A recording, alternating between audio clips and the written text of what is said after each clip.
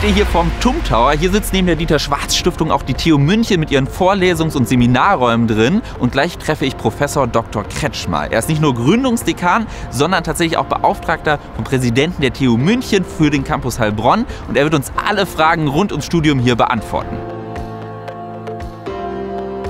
Wir sitzen jetzt drin, um darüber zu sprechen, welche Informationen ihr braucht, um zu entscheiden, ob das vielleicht ein Studium für euch ist. Und meine allererste Frage wäre, welche Fachbereiche werden hier am Campus angeboten? Also hier am TUM Campus Heilbronn bieten wir an Betriebswirtschaftslehre mit einem Bachelorstudiengang in Management and Technology, einem Master in Management und einem Berufs berufsweiterführenden Studiengang Master in Management Innovation und ab dem Wintersemester 2020-21 aus der Informatik ein Bachelorstudiengang in Information Engineering. Also zwei Fakultäten, die sich sehr eng miteinander verzahnen können, weil Management und digitale Technologien sind zwei Themen, die ganz eng verknüpft sind. Als ich in die Stadt gekommen bin, dann habe ich direkt gelesen, es ist jetzt eine Universitätsstadt. Was hat sich in den letzten Jahren alles geändert? An dem Bildungscampus hier in Heilbronn ist jetzt mittlerweile auch die TU München als Universität da. Es freut uns sehr, dass die Stadt das zum Anlass genommen hat, das Ortsschild zu ändern. Auf der anderen Seite ist aber auch klar, das Ortsschild ändern ist noch nicht alles, sondern jetzt muss Universität im Ort ankommen, in der Region ankommen. Und wir wollen alle begreiflich machen, was Universität eigentlich ausmacht, nämlich nach Wissen zu suchen, neue Ergebnisse zu schaffen und eine durchaus äh, kritische, aber gestaltungsförderliche Grundhaltung herbeizuholen. Und das ist ein Entwicklungsprozess. In der Wissensstadt Heilbronn stellt man jetzt, glaube ich, so langsam fest, gibt noch einen Spieler mehr. Wir sind ja nicht die Einzigen, äh, die da sind. Und wir freuen uns, dass wir mit vielen anderen gemeinsam dieses Thema Wissensökonomie, Wissensstadt voranbringen können. Durch dieses Wachstum sind viele neue Studierende dazugekommen, es sind viele neue Professorinnen und Professoren dazugekommen. Hat das was daran geändert, dass es diese Kleingruppen gibt, die ja tatsächlich für den Bildungscampus immer sehr wichtig waren? Nein hat sich nicht geändert. Schon deshalb nicht, weil wir glauben, dass ähm, Lernen ja nicht nur auswendig lernen sein kann, sondern auch üben, erfahren und dass es in kleinen Gruppen sehr gut funktioniert. Wir haben jetzt 230 Studierende, Zielzahl sind 13 Professoren. Wer da teilt, weiß, ähm, dass da keine großen Zahlen rauskommen und wir haben es auch gar nicht vor. Äh, denn das, was wir in dieser Integration, Management, Technologie machen, setzt voraus, dass man wirklich die Erfahrungen schafft und die Internationalität des Kollegiums nutzt, ganz verschiedene Erfahrungen äh, mitzunehmen. Das sieht man an den vielen Seminaren, die angeboten werden.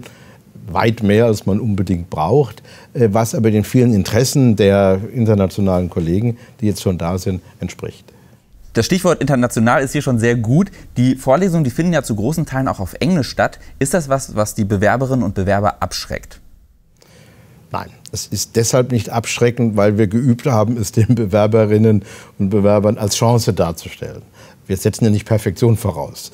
Äh, das kann man üben. Und je mehr man äh, sprachliches Ausdrücken in einer anderen Sprache übt und es als normal empfindet, desto eher weiß man auch, äh, wo man nun das Vokabular lernt. Wir bieten Kurse dazu an und so wie wir internationale Studierende hier empfangen, die des Deutschen noch nicht mächtig sind, so und denen Deutsch beibringen dürfen, so bemühen wir uns auch, das Englische eben mit beizubringen. Und ich selber habe in den USA ähm, gelehrt und dann auch bin da hingegangen, ohne perfekt Englisch zu können. Übung macht den Meister, das gilt für die Sprache. Und ich glaube, wir haben es geschafft, dass man das nicht als Abschreckung sieht, sondern als Chance, in einer Umgebung, wo nicht Perfektion erwartet wird, das einfach zu üben und sich anzueignen. Jetzt haben Sie schon gesagt, es gibt viele internationale Studierende hier. Wie ist das denn im Laufe des Studiums? Funktioniert das mit der Integration? Also wenn ich mit den internationalen Studierenden rede, und wir haben ja nicht so viele, dass wir nicht mit den Studierenden in Kontakt kommen und mit ihnen reden kann, höre ich keine Klagen, dass sie sich unwohl fühlen sondern äh, die Größe der Stadt, die ja nicht so überbordend riesig ist, äh, das ist ein Vorteil. Auch das Willkommenheißen der äh, Menschen aus allen internationalen Regionen ist ein wichtiger Punkt. Und was auch ganz wichtig ist, wir haben ja nicht ganz wenige Studenten, die nicht aus Deutschland kommen, sondern in einem Studiengang mehr als die Hälfte, die nicht aus Deutschland kommen. Und dann ist das schon wieder eine eigene Gruppe, die sich äh, zusammen weiterentwickelt. Und sie finden auch auf der Fakultätsebene internationale Erfahrung, wo sehr viele der Kollegen, wenn sie schon nicht wie Ying Shi aus China kommen, ähm, wissen, wie das ist, wenn man sich in einem anderen Land zurechtfindet. Und wir versuchen das auch im Studienplan so zu machen, dass wir äh, gerade heute beschlossen haben, äh, sozusagen den Nachmittag oder den späten Nachmittag für die Sprachkurse äh, freizuhalten, sodass man da auch wirklich hinkommt. Heilbronn ist ja ein ganz besonderer Standort, wo es viele Firmen gibt, die sehr erfolgreich sind. Profitieren die Studierenden davon? Heilbronn-Franken gilt ja als die Region der Weltmarktführer. Äh, viele Firmen, die die Kundigen sehr gut kennen, weltweit, die aber, wenn man sie auf der Straße so fragen würde, nicht viel sagen. Und äh, wir haben viele Bemühungen, erfolgreiche Bemühungen, unsere Studierenden mit diesen Firmen in Kontakt zu bringen. Denn die suchen natürlich aus, nach Mitarbeitern aus aller Herren Länder. Äh, und wir mit, können das mit äh, Praktika, aber auch mit Studienarbeiten tun. Wir haben mit den Firmen engen Kontakt, äh, eigene Stelle, die sich um diesen Ausgleich ähm, kümmert. Und das ist auch für manche Studierende Motivation, hierher zu kommen. Weil sie sagen, wo sonst haben wir die Chance, in den als sehr innovativ bekannten deutschen Mittelstand wirklich reinzukommen.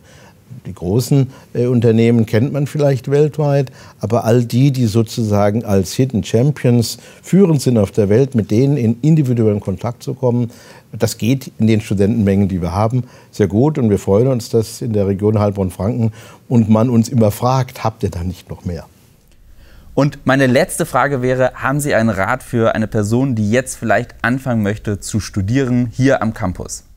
also wenn Sie mich fragen, was, äh, wie junge Menschen sich ein Studienfach oder einen Studienort aussuchen sollen, dann ist es, glaube ich, äh, wichtig, dem, was man als Neigung verspürt, auch tatsächlich äh, zu folgen, auch wenn es vielleicht ein bisschen unkonventionell ist und auch zu sehen, dass man in diesen Jahren ja auch ausprobieren kann, zu erfahren, ob einem eine Sache liegt wenn sie einem nicht liegt, dann weiß man das immerhin. Und wenn sie einem liegt, hat man was gefunden, was einem liegt. Also in beiden Fällen kommt ein gutes Ergebnis raus.